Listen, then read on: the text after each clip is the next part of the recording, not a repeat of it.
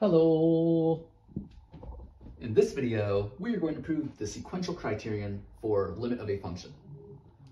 Suppose a is a subset of the real numbers, f is a function from a to the real numbers, and c is a cluster point of a. Then the following are equivalent. 1. The limit as x approaches c of f is equal to L. And 2. For every sequence xn in A that converges to c, where xn is not equal to c for all positive integers n, the sequence f of xn converges to L. Now, to prove that 1 and 2 are equivalent, we're going to prove if 1 is true, then 2 is true.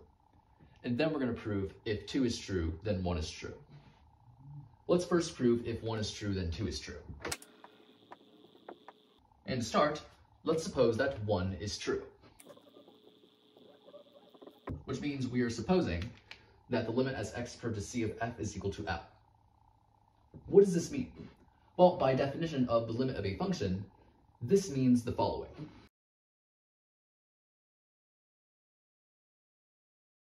It means for every epsilon greater than zero, there exists a delta greater than zero, such that for all x and A, if zero is less than the absolute value of x minus c is less than delta, then the absolute value of f of x minus L is less than epsilon. Now, for us, it turns out it's going to be more convenient if we re-express this as absolute value of x minus c is less than delta, and x is not equal to c.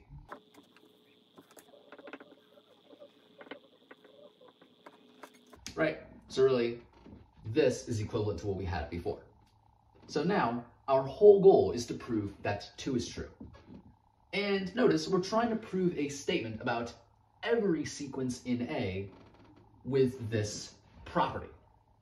So let's give ourselves an arbitrary sequence in A with this property. I'll call xn.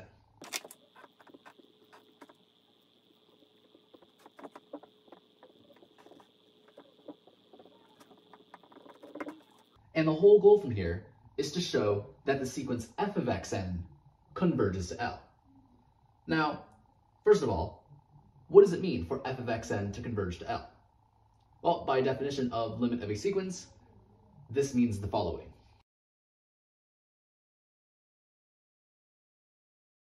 It means for every epsilon greater than zero, there exists a positive integer k, such that for all positive integers n greater than or equal to k, the absolute value of f of xn minus L is less than epsilon. Now, we're given that our sequence xn converges to c. And by definition of the limit of a sequence, to say that xn converges to c means the same thing as this, it's just instead we have xn and c here.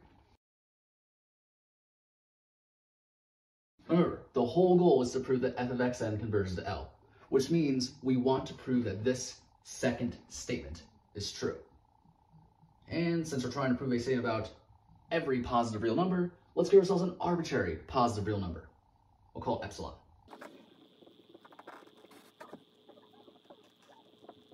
From here, we want to find a positive integer k such that this is true.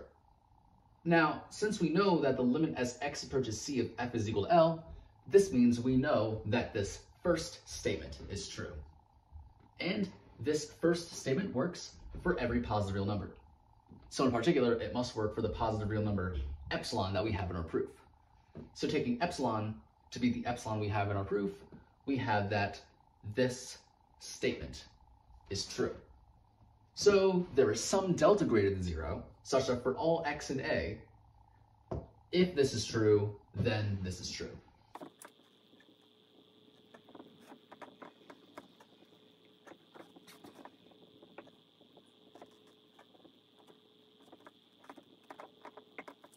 Well then, let's use the fact that xn converges to c, which means we know that this third statement is true.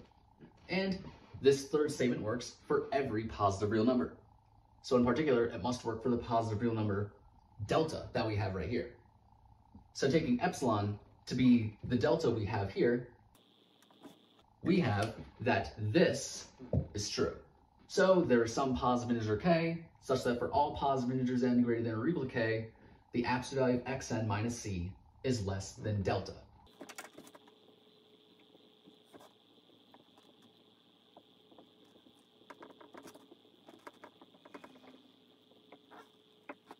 Now remember, our goal has been to prove that f of xn converges to L.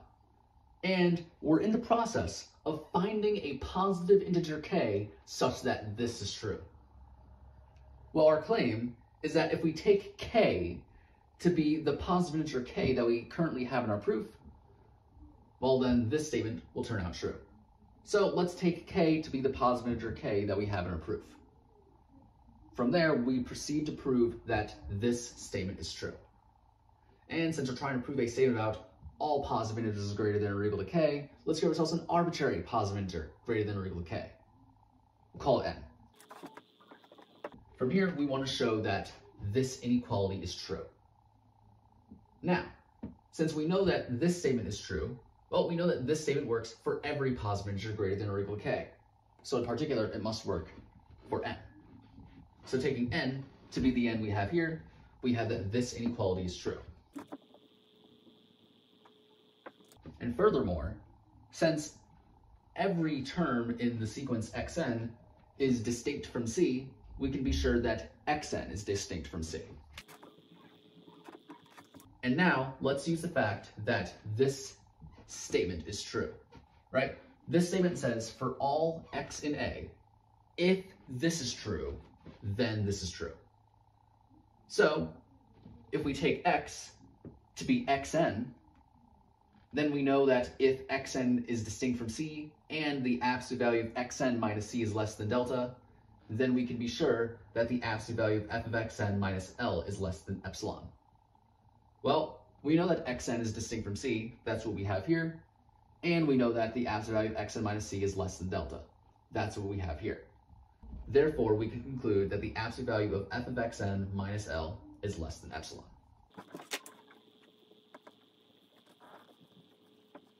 And that is precisely the inequality we wanted to prove. So we have proven this statement, and that proves that f of xn converges to L.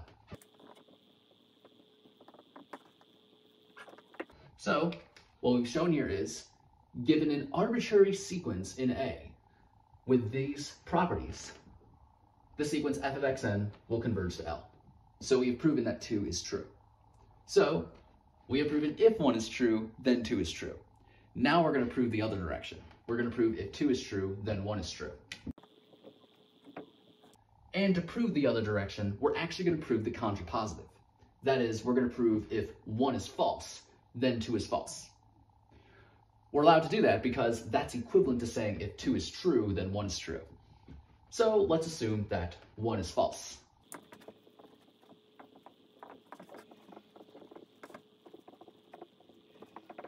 Which means we're supposing that the limit as x approaches c of f is not equal to L. What does that mean? Well, it's precisely the negation of this first statement.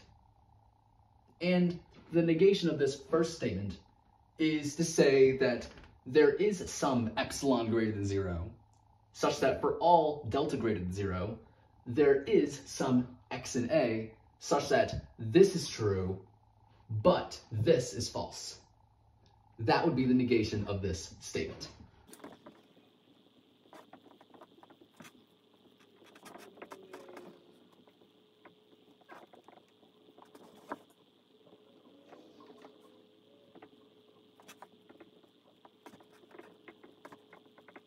And to say that this is false means that absolute value of f of x minus L is greater than or equal to epsilon.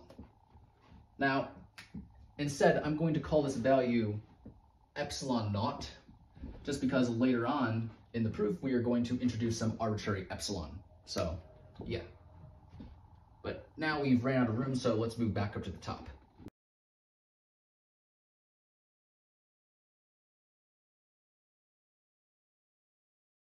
So we've assumed 1 is false, and the whole goal is to prove that 2 is false. But what does it mean for 2 to be false? Well, to say that 2 is true means for every sequence in A with this property, this is true. The opposite of that is to say that there exists a sequence in A with this property, but this is false.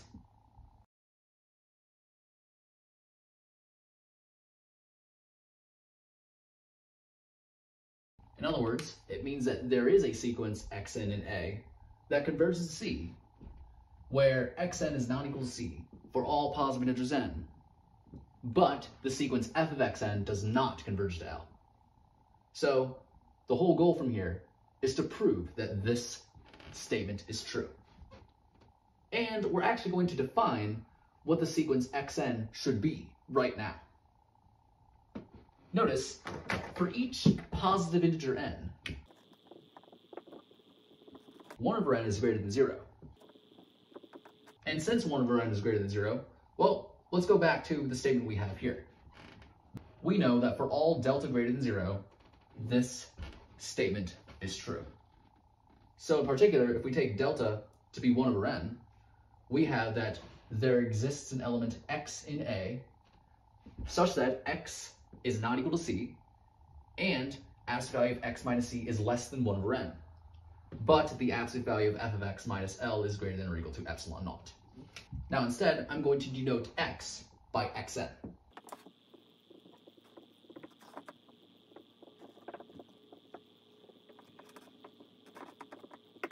So this is what we get.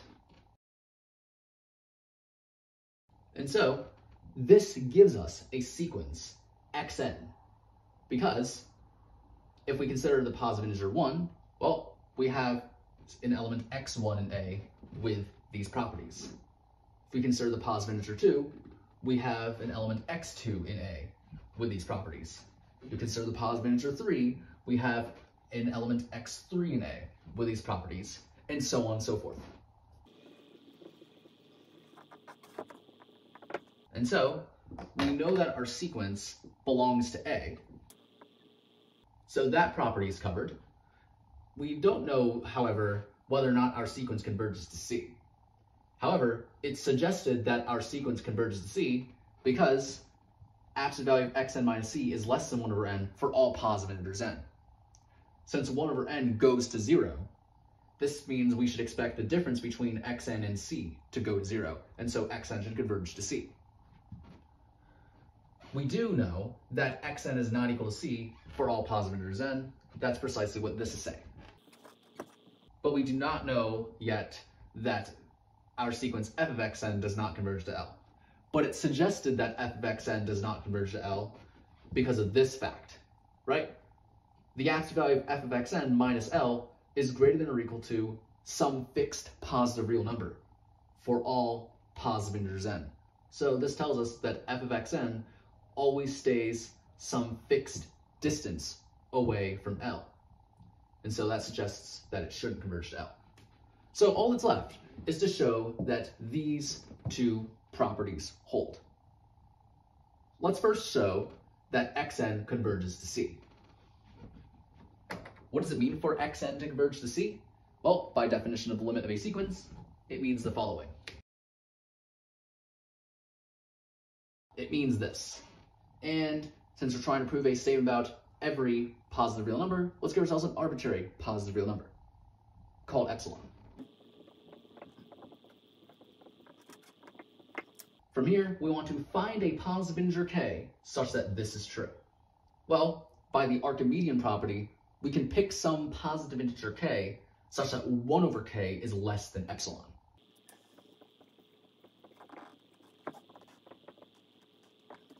Our claim is that the positive integer k that we're looking for is the positive integer k we have in our proof right here. So taking k to be the k we have here, we proceed to prove that this statement is true. Since we're trying to prove a statement about all positive integers greater than or equal to k, let's give ourselves an arbitrary positive integer greater than or equal to k. Call n. From here, we proceed to prove that this inequality is true. Well, if we write out the left-hand side, we know that this inequality is true for all positive integers n. So this guy must in fact be less than 1 over n. But then, since n is greater than or equal to k, if we take the reciprocal of both sides of this inequality, we get that 1 over n is less than or equal to 1 over k. And 1 over k is less than epsilon. And that shows that this guy is less than epsilon, which is what we wanted to show. So we have proven this statement, which proves that xn converges to c. So that proves this property. All that's left to show is that f of xn does not converge to L. So now, how do we show f of xn does not converge to L?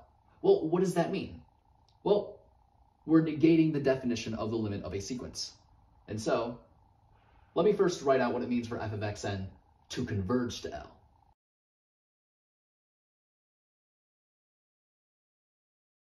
This is what it means for f of xn to converge to L, but we want to prove that f of xn does not converge to L. So we're negating this statement. Well, the negation of this statement is to say that there exists an epsilon greater than zero, such that for all positive integers k, there exists a positive integer n greater than or equal to k, such that this is false.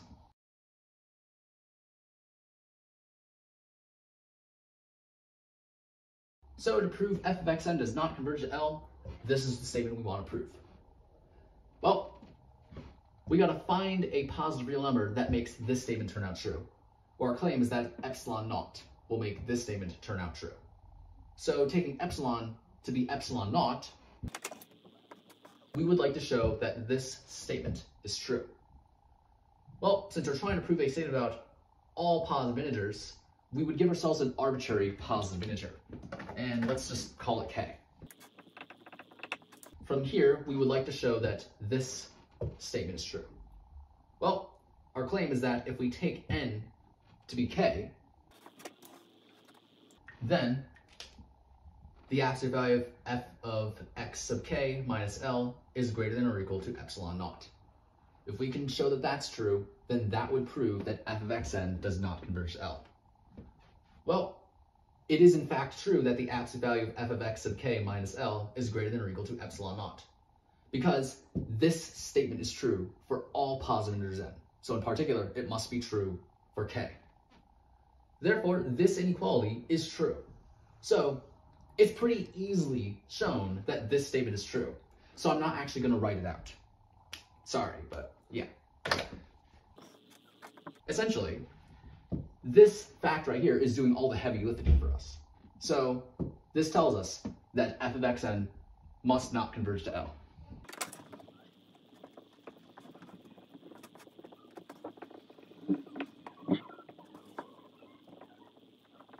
So that shows that this property holds. And so we have shown all the requirements which proves 2 is false. And so we have proven if 1 is false, then 2 is false. By the contrapositive, that's equivalent to proving if 2 is true, then 1 is true. And so we have proven that 1 and 2 are equivalent. So this completes the proof. And so yeah, that's pretty much it for this video.